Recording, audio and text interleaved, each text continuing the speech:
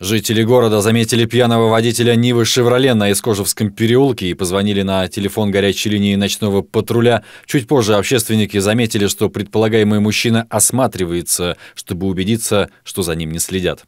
Вон пьяный водитель, шатаясь, идет обратно к машине.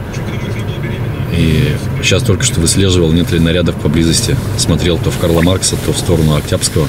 В общем, сейчас, возможно, сядет и поедет. Общественникам водитель сказал, что никуда ехать он не собирается, так как выпил спиртного, но вскоре машина начала движение. Так, Нива поехал, Нива поехал в сторону Карла Маркса, 700, ой, 106. Водитель Сергей проехал в соседний двор, путь пешком у него занял бы всего минуту.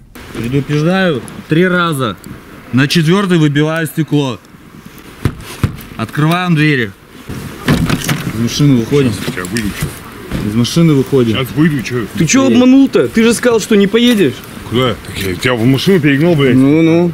Перегнал-то пьяный. Ну, такие пьяный, ну ладно, что. Пьяный и ладно. Видимо, так же он думал три дня назад, когда сотрудники ДПС ловили его на этом же месте. У водителя были те же признаки опьянения. Отец в который раз ждал сына дома, а тот снова задержан. Как так получилось? Да я что, видел, что ли? Вы не видели? А Он вообще практикует такое? Ну, пьяненьким-то есть. Да я с телевидения просто снимаю. Да убери телефон с телевидения.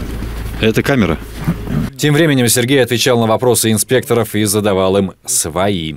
Вы недостаточно будете проходить? Для чего? Для установления вашего состояния. Я не отказываюсь ничего.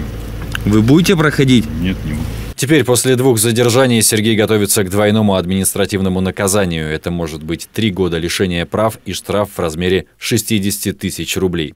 Сергей Пичугин, место происшествия.